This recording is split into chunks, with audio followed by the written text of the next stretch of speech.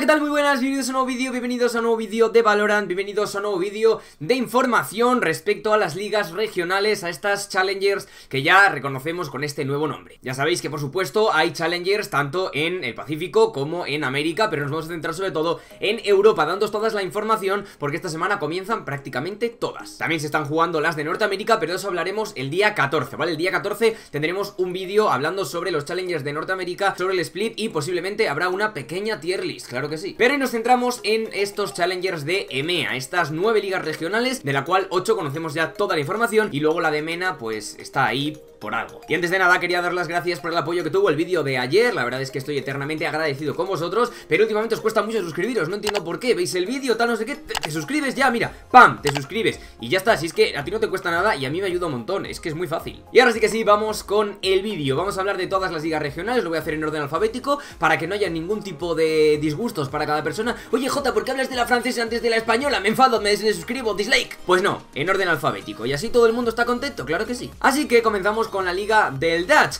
La liga que quizás no es la más atractiva, pero bueno, hay equipos que están bastante, bastante bien. Y vamos a ver ya la primera jornada que tenemos la información. Comenzará el día 14 de enero, se jugará pues eso, tanto el 14 como el 15. La verdad es que hay partidos bastante interesantes, hay equipos que están bastante guays. Y bueno, como veis por ahí pues tendríamos un Mouth contra Angry Titans. Mouth es un equipo que, que ha presentado su roster hace poco, con Alorante, con Obnox, con Muri. La verdad es que tiene uno de los mejores equipos de toda la liga, sin ningún tipo de Luego tendríamos a mm, Angry Titans, un equipo que, bueno, no lo hizo del todo mal la temporada pasada, pero bueno, un equipo bastante, bastante sin más. Ovation Esports contra Unicorns of Love, equipo que también consiguió clasificarse y que, mm, y que vas a jugar esta liga de, del Dutch, que el año pasado, si no me equivoco, no la jugó. Y luego pues tendríamos un TBD, que no es que no esté confirmado el equipo, sino TBD se llama un equipo, de hecho es un equipo donde está el bueno de Simon Dark, si os acordáis de Simon Dark, pues por ahí está en el equipo de TBD, contra Equipo que también es bastante, bastante conocido, con jugadores como Benny o Azuri, que bueno, son jugadores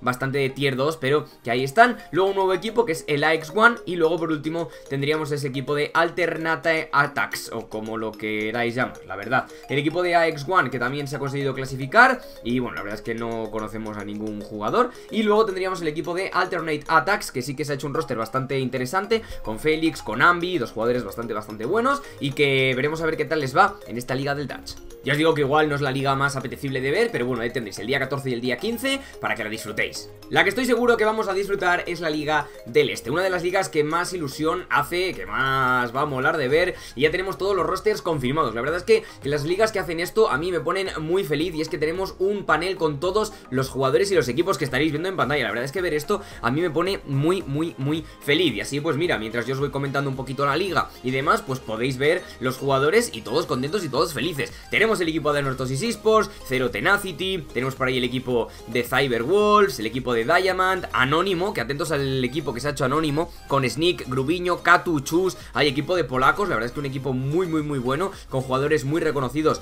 de la Liga Española, luego tendríamos el equipo de Ascend, con ese roster que da miedo, sinceramente da miedo, con Monster, Badigi, eh, Alive, Musashi, Brody y Best Mode como sexto hombre, luego tendríamos el equipo de Nom, por ahí con jugadores como, como Shompy, si os acordáis de Shompy el israelí, eh, Rapid Ninjas, Enterprise con el bueno de Benji Fisi y luego el equipo de B8. Y es que esto no es todo, ahí tenemos todos los equipos, pero ya tenemos la primera jornada que se va a jugar en el día de hoy, que estaréis viendo ya en pantalla el día jueves, es decir, hoy, de hecho cuando estoy viendo este vídeo ya habrá empezado, ese Ascent contra Diamond, tenemos un Anónimo contra Enterprise, atentos a ese partido, B8 contra Cyberwolves, Zero Tenacity contra Rapid Ninjas y Nom contra Anortosis Esports, Anonymous Tosis, Anortosis, como se llame. Sinceramente los dos primeros partidos son auténtica locura y los vamos a vivir esta noche en mi canal de Twitch Porque sí, hoy por la noche voy a hacer directo Viendo estos dos partidos, el Azen contra Diamond y el Anónimo contra Enterprise No me voy a hacer spoiler, no voy a ver ninguno de los dos Y lo veremos esta noche en directo conmigo Y tú, y yo ¿eh? Te invito a una cita esta noche. Nos vamos con la Liga de Francia, que no tenemos un panel con todos los jugadores, pero sí que tenemos equipo por equipo. En primer lugar tenemos el equipo de 3D eh, Max, que es un equipo pues que ha salido nuevo, con Machina,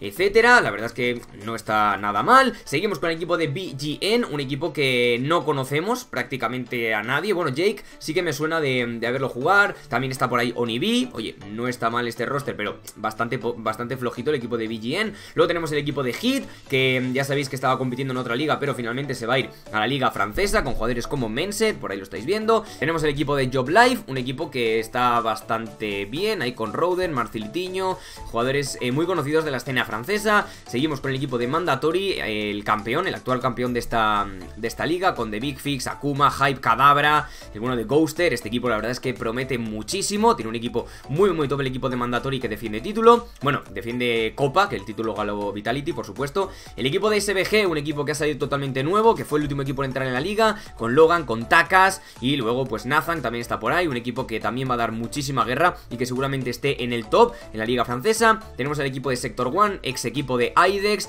y tenemos pues jugadores que continuaban desde el año pasado y jugadores nuevos. Ya sabéis que IDEX no continúa y que de hecho está jugando en UCAM. El equipo de Valiant, un equipo totalmente nuevo, pero que está ahí el bueno de Sakake y de Gis, dos jugadores de, de la liga española muy conocidos, Sakake ex de Koi, Gis ex del equipo de Giants. La verdad es que este equipo tiene muy buena pinta, veremos a ver los demás jugadores porque yo personalmente no les conozco. El equipo de Wild, el equipo presidido por Usain Bolt, ahí está el bueno de Foxy con ese Rolex en la mano y luego también tenemos por ahí a Hype, los demás personalmente no les conozco. Y para finalizar el equipo de Ferans, otro equipo que tampoco conozco y que veremos a ver qué tal lo hacen. Hay equipos bastante buenos, hay equipos bastante malos y hay equipos que no conozco. Esta es la liga francesa, sinceramente no sé qué pensar de esta liga, eh, no me produce ningún tipo de estímulo, no hay ningún jugador que diga, puah, qué ganas de ver, lo único que me gusta es el equipo de Sakake y de Gis, que bueno, pues porque son conocidos, y luego bueno, SBG hay un poquito con Takas y Logan sí que me hace un poquito de ilusión, pero bueno, la liga francesa que no me llama. Pero es que si la francesa me llama poco, la italiana me llama aún menos, ahí estáis viendo los equipos, eh, todavía bastantes equipos sin confirmación de roster, aunque ya pues empezará en breves, el equipo de Desire, el equipo de Clash, Mako, Outplayed, Humble, WLG, GMT, que es el mejor equipo y el que va a ganar mmm, sobrado, y luego Absolot. La verdad es que son equipos mmm, muy normalitos, ya les veremos dentro de competición, pero bueno, eh, ya os digo que no hay nada súper destacable, de hecho el mejor jugador que hay en la liga seguramente sea Herbit, el equipo de, o sea, el jugador, perdón, de GMT, así que bueno, pues es lo que hay. La Liga del Norte también tiene un claro candidato, y es el equipo de Apex, ya sabéis, estuvimos hablando en el vídeo anterior de este nuevo equipo, pero también tiene otros competidores, como puede ser el equipo de Focus, como puede ser el equipo de Bonk, el equipo de Vámonos, que es el equipo donde está el bueno de Borwen, y luego el Spetic Buffons, que ya sabéis que es el equipo donde está Link, Cryptix y estos jugadores ingleses. También tenemos al mítico Hukars, Human Tripwares y HSDIRR. O sea, de esta liga tan solo dos equipos tienen organización. Los otros seis equipos no tienen organización. O sea, no sé a qué esperan los equipos para firmar a estos jugadores que por lo menos ya están en una liga regional. O sea, aunque seas una organización de tier 2, pues te renta tener uno de estos equipos. Y más si ves los premios que estaréis viendo ya en pantalla, la verdad es que están bastante, bastante bien para ser una liga regional. 7000 para el primero, 4500, 2500, 1800, 1350, 1100, 900 y 800. O sea, está bastante bien para, para ser una liga regional. O sea que no sé a qué esperan los las organizaciones para fichar a los jugadores. La Liga de Portugal la verdad es que tiene una pinta bastante apetecible, quizás no es la que más apetece ver, pero está bastante bien, sinceramente. Tenemos ya el calendario de estas primeras jornadas, no es que haya puesto yo la foto así, sino que en el Twitter se ve a esta calidad, la verdad es que no es la mejor calidad de la historia y pues más o menos tienes que intuir un poquito. Pero bueno, ahí estáis viendo los equipos que hay, hay equipos bastante interesantes, sinceramente mmm, hay equipos bastante guays que ver, o sea, como puede ser el equipo de Show, sinceramente el equipo de Show tiene muy buena pinta Luego está el equipo de, mmm, de Vikings, que se ha aliado con 14, que bueno, pues ahí está, Vikings 14.